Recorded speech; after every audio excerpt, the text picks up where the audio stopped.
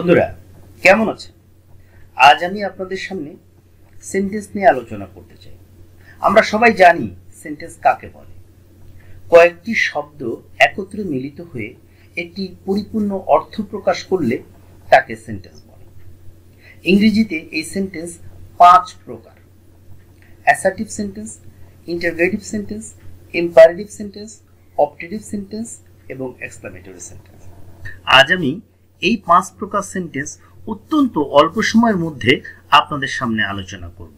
আশা করি আপনারা সবকিছু ক্লিয়ারলি বুঝতে পারবেন। তাহলে দেরি কেন? চলুন, শুরু করা যাক।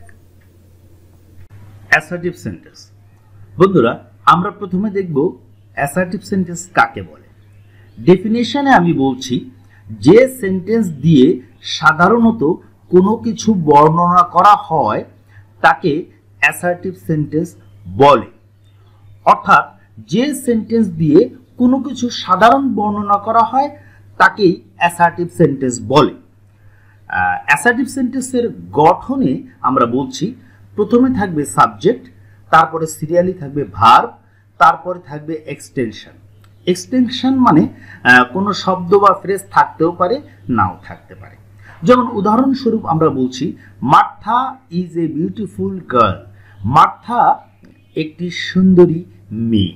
এটা একটা সাধারণ বর্ণনা বোঝাচ্ছে। তাহলে এটা অ্যাসার্টিভ সেন্টেন্স গঠনে দেখুন, আমরা বসাবো সাবজেক্ট দেখুন মার্থা হচ্ছে সাবজেক্ট তারপর সিরিয়ালি ইজ রয়েছে। ইজ হচ্ছে ভার। সিরিয়ালি ভার্ব রয়েছে। তাহলে Martha is a beautiful girl assertive sentence একইভাবে he goes to school regularly সে প্রতিদিন স্কুলে যায়। হি হচ্ছে সাবজেক্ট এবং গোজ হচ্ছে ভার্ব সিরিয়ালি সাবজেক্টের পরে ভার্ব রয়েছে। তাহলে he goes to school regularly সে প্রতিদিন স্কুলে যায় টু স্কুল রেগুলারলি এটা এক্সটেনশন এরপরে রয়েছে শি ওবেজ হার প্যারেন্টস সে তার পিতামাতাকে মান্য করে, এবং তারপর রয়েছে John helps his mother John তার মাকে সাহায্য করে। এই চারটি সেন্টেন্স দিয়েই সাধারণ বর্ণনা বোঝাচ্ছে। তাহলে এটি হচ্ছে অ্যাসার্টিভ সেন্টেন্স তাহলে এক কথায় বলতে পারি, যে সেন্টেন্স দিয়ে সাধারণত কোনো কিছু বর্ণনা করা বোঝায়, তাকেই অ্যাসার্টিভ সেন্টেন্স বলে। ইন্টারোগেটিভ সেন্টেন্স বন্ধুরা, আসুন আমরা এবার দেখব ইন্টারোগেটিভ সেন্টেন্স কাকে বলে। ডেফিনেশনে আমরা বলছি, যে সেন্টেন্স দিয়ে কোনো প্রশ্ন করা বোঝায়, তাকে ইন্টারোগেটিভ সেন্টেন্স বলে। অর্থাৎ, যে কোনো প্রশ্ন করা বোঝালেই তাকে আমরা ইন্টারোগেটিভ সেন্টেন্স বলব। ইন্টারোগেটিভ সেন্টেন্সের গঠন হচ্ছে H V plus subject plus মূল ভার্ব প্লাস এক্সটেনশন এবং শেষে জিজ্ঞাসার চিহ্ন। উদাহরণে আমরা বলছি ডু ইউ লাইক ক্রিকেট তুমি কি ক্রিকেট পছন্দ করো?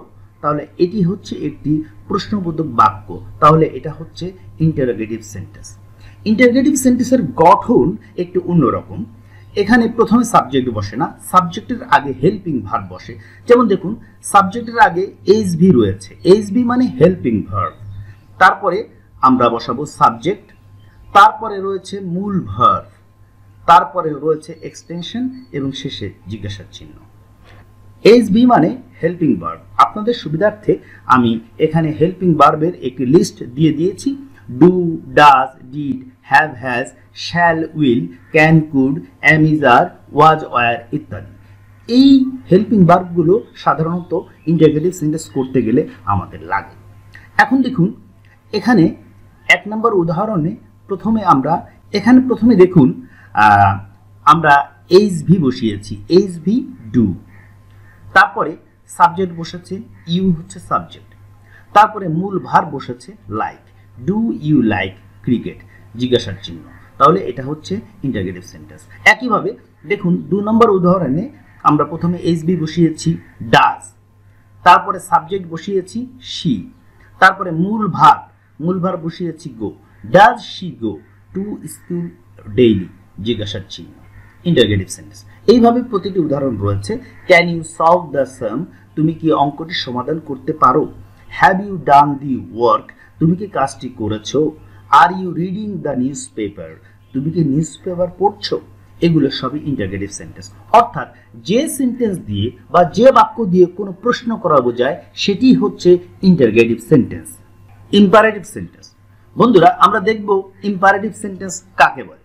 ডেফিনেশনে আমি বলছি, যে সেন্টেন্স দিয়ে আদেশ, নিষেধ, উপদেশ, অনুরোধ ও প্রস্তাব ইত্যাদি বোঝায়, তাকে ইম্পারেটিভ সেন্টেন্স বলে।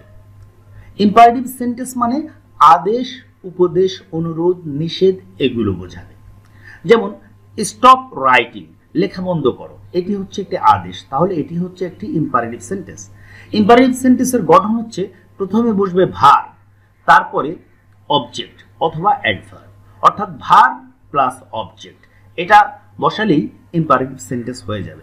যেমন উদাহরণে দেখুন, প্রথমে আমরা স্টপ বসিয়েছি। স্টপ হচ্ছে একটি ভার্ব এবং তারপরে রাইটিং অবজেক্ট রয়েছে। একইভাবে এখানে মার্স এবং তারপরে অ্যাডভার্ব রয়েছে। এরপর তিন নম্বরে ওবে ইওর টিচার্স ওবে হচ্ছে ভার্ব ইওর টিচার্স হচ্ছে অবজেক্ট ওবে ইওর টিচার্স তোমার টিচারদেরকে মান্য করো।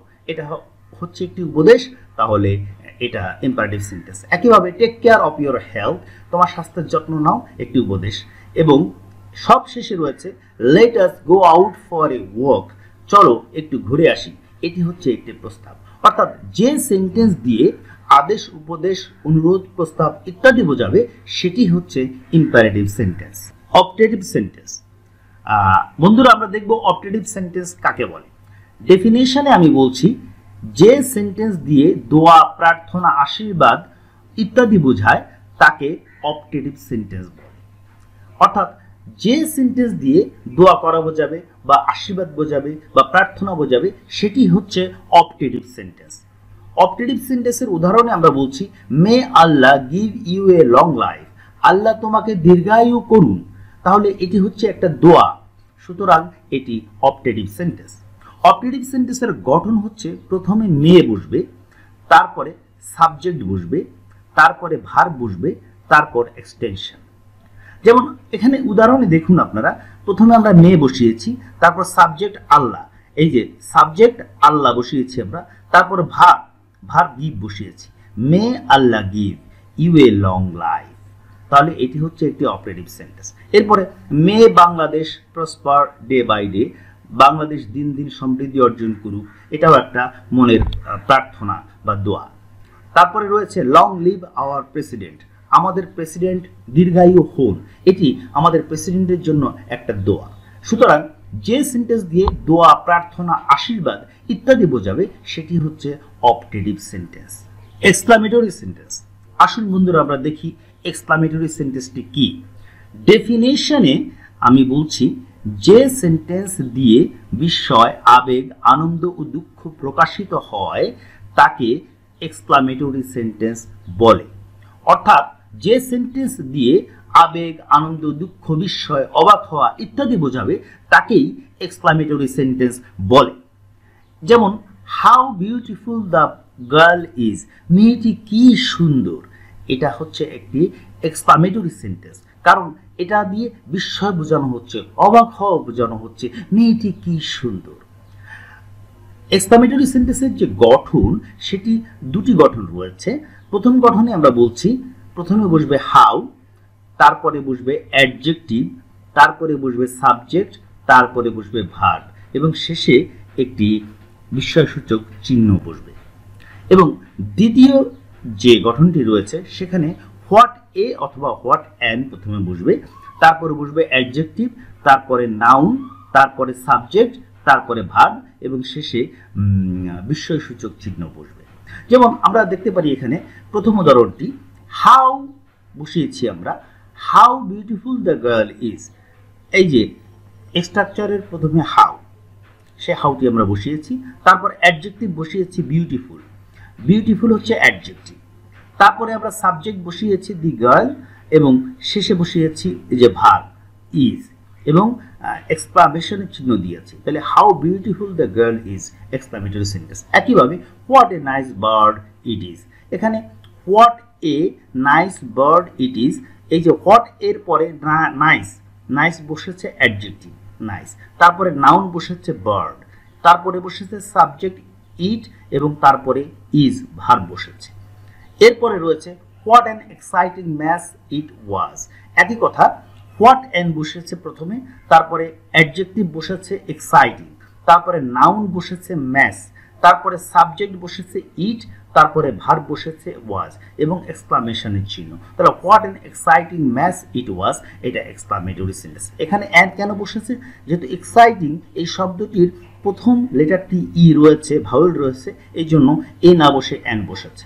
What an exciting match it was তাহলে মূল কথা হচ্ছে যে সেন্টেন্স দিয়ে বিস্ময়, আবেগ আনন্দ, অনুভূতি ইত্যাদি বোঝানো হয়, সেটি হচ্ছে এক্সক্লামেটরি সেন্টেন্স বন্ধুরা, এতক্ষণ আমরা যে পাঁচটি সেন্টেন্স নিয়ে আলোচনা করেছি, সেই আলোচনার আলোকে এখন আমি আপনাদের জন্য একটি এক্সারসাইজ সাজিয়েছি। এখানে আমি ছটি সেন্টেন্স দিয়েছি। আপনারা প্রতিটি সেন্টেন্স পড়ে নির্ণয় করবেন কোনটি কোন সেন্টেন্স যেমন প্রথমে আমি দিয়েছি মে আল্লাহ ব্লেস ইউ তারপর দিয়েছি John works in a shop তারপর দিয়েছি have you eaten your meal তারপর what a modest proposal it is wash your hand এবং সবার শেষে দিয়েছি Jenny is a meritorious girl এই যে ছয়টি সেন্টেন্স এটি কোনটি কোন সেন্টেন্স সেটি আপনারা নির্ণয় করবেন। এবং এর উত্তরটি আমি আপনাদের সুবিধার্থে পরবর্তী স্লাইডে দিয়ে দিয়েছি। বন্ধুরা, আমি এই স্লাইডে গত স্লাইডে যে সেন্টেন্সগুলি দিয়েছি, তার উত্তরগুলো আমি দিয়ে দিয়েছি এখানে। প্রথমে যে সেন্টেন্সটি আমি দিয়েছি, সেটি হবে অপটেটিভ সেন্টেন্স তারপরে যে সেন্টেন্সটি দিয়েছি সেটি হবে অ্যাসার্টিভ সেন্টেন্স তারপরেরটি ইন্টারগেটিভ সেন্টেন্স তারপর এক্সক্লামেটরি সেন্টেন্স তারপরে ইম্পারেটিভ সেন্টেন্স এবং সবার শেষের সেন্টেন্সটি হবে অ্যাসার্টিভ সেন্টেন্স তো বন্ধুরা, কেমন লাগল? যে পাঁচ প্রকার সেন্টেন্স আজকে আমি আলোচনা করেছি, আশা করি আপনারা সবাই বুঝতে পেরেছেন। এবং আপনারা যদি একটু এক্সারসাইজ করেন বা হোমওয়ার্ক করেন, তাহলে এই সেন্টেন্সগুলি আপনাদের কাছে একেবারে পানির মতো সহজ হয়ে যাবে। আমার ভিডিওটি ভালো লাগলে অবশ্যই সাবস্ক্রাইব করবেন। আবারও দেখা হবে অন্য কোনো সময়, অন্য কোনো ভিডিও নিয়ে। সে পর্যন্ত ভালো থাকুন। আজকের মতো বিদায়। আল্লাহ হাফিজ।